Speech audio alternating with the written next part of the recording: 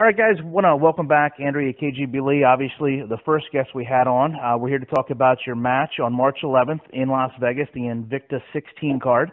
It's your 1st pro fight in Las Vegas. It's going to be your first fight on UFC Fight Pass. Can you talk a little bit about what that exposure means to you?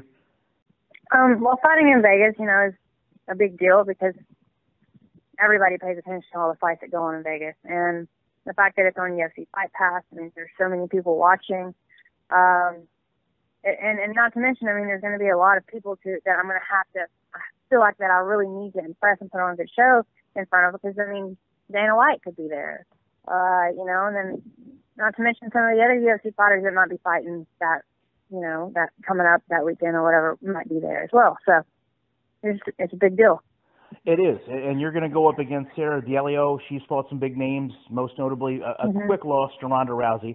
She's eight years older than you. Um, subsequently, has a lot more experience. Four of her last fights have went the distance, though. What do you see is your biggest advantage over her? Uh, I feel like that my head movement and and uh, my angles and stuff will be there, you know. And I'm I'm well rounded. I feel like she's going to come in trying to take me down. So, um, whatever happens, I feel like I'm comfortable with wherever the fight goes. You've both spent time in Invicta. Is, is this a fight that's ever been approached with the two of you before? No, never. I mean, I think she just, I don't know. I, I mean, on record, I don't see where she's fought at 125 before. So I think this could be her first time. They say she's made 125 before, but I don't really know 100% about that. Um, but uh, as far as I know, on record, I'm the first person that she's fighting at 125. Do you feel like this is going to be your biggest fight, or do you think that was with Modafferi? I think so far, yeah, this is definitely going to be my biggest and toughest fight. My, I mean, Roxanne Modafferi, she was, you know, and, and you know has been up until this moment, you know, the the biggest fight that I've had. But I feel like with Sarah D'Alelio, that it's going to change things. You know, and she she fought at 145 and 135 like her entire career. So, uh, you know, she's going to have she's going to be extremely strong and aggressive. She thinks that, you know, I'm I'm just a a smaller opponent than what she's used to. She's just going to be able to come in and like destroy me. But I don't, I don't see that happening. I think it's, it's going to go a lot differently than she planned. Anything specific you're doing outside of your normal training to prepare for this? Not really. I mean, um, you know, I train the same way with every fight. I just, you know, sometimes I'll focus more on one thing than the other, like, uh, you know, defending takedowns and stuff like that. You know, I, I so defending takedowns has been a big part of this camp, and uh, just defending a whole lot of stuff on the ground in case it ever gets to that point. Um, working off my back a lot, uh, trying to keep control. You know, trying to stay on, trying to stay top side uh, if it does go to the ground, and working a lot of uh, wall work and working off the cage. Um, but the only thing that's that's really different, you know, between you know like leading up to this fight and all the stuff that I haven't had to do before is like having to like fill out all this paperwork, you know, that the commissioner has us do, you know, I have to get MRI and MRA, you know, getting getting all that done and being pressed for time is kind of stressful. So, I mean, but other than that, you know, everything else is the same, I think. Now, for the Fight Pass preview, you actually have a clip used in kind of like the highlights used to promote this whole month's fighting cards that they have. Is that something you were aware of? Um, actually, I was told by some one of my my friends, my training partners. They were watching, and they were like, "Hey, you're in this.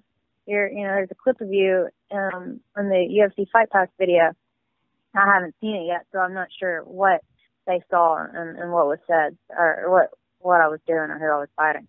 It's just a uh, short clip of, of you kicking. Uh, I actually can't tell who it is the way they've edited it, but I, I, I mean, I don't know what that adds to this, but obviously, you know that you've got people looking at you, and obviously, mm-hmm. it's not just a highlight clip. You know, they're looking at you because you, of your resume and what you're about to do. And, and we want to give away a free month of Fight Pass to one of the viewers mm-hmm. here so that they can watch your fight coming nice. up. So, according to you know the game plan you have in place, your hand gets raised at the end of the fight. What do you think this win is going to establish, and where do you want it to move you next? I feel like it will move me into a contending spot for the title. Um, I feel like if I if I beat Sarah D'Alelio, then then whoever fights for the belt next, you know, I'll I'll get that shot. Is what I think. That's what I feel like.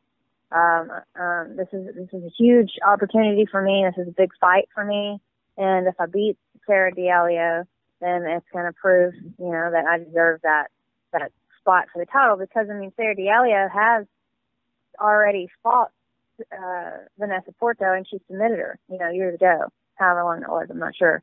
But and, and now she's fighting for the, the the interim title. So maybe if I beat Sarah D'Alelio, I feel like I should have that opportunity.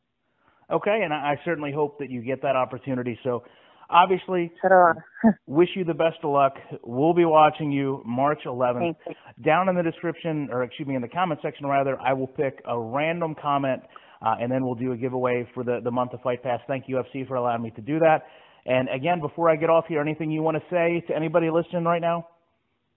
Uh, I just want to say thank you to all of my friends and family and fans that you know are supporting me. Uh, also, thank you to my sponsors who helped make this happen for me. I wouldn't be able to train daily, you know, without you. So, Apex Conditioning, Resistance Band Shorts. I really, I really appreciate you and your help uh, and your sponsor. It means a lot to me. Fighter Alias, MMA Roadhog, Love MMA. Um, my coaches, Donnie Aaron and Kendrick, and everybody else that helps me out. All my tra- my training partners at Karate Mafia. Uh, thank you so much.